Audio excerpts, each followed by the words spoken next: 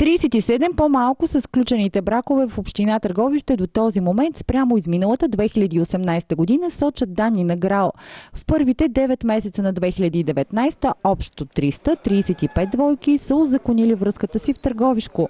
За момента имаме 335 граждански брака за сега, от които са 100 пресъставените. За миналата година бяха 111, което до края на годината може би ще станат също толкова. 235 са гражданските бракове, сключени в община Търговище на територията на общината.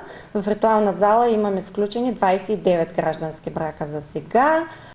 Освен това, през 2018 година Общинска администрация въвежда така наречения изнесен ритуал, при който младоженците могат да сключат граждански брак извън официалната зала.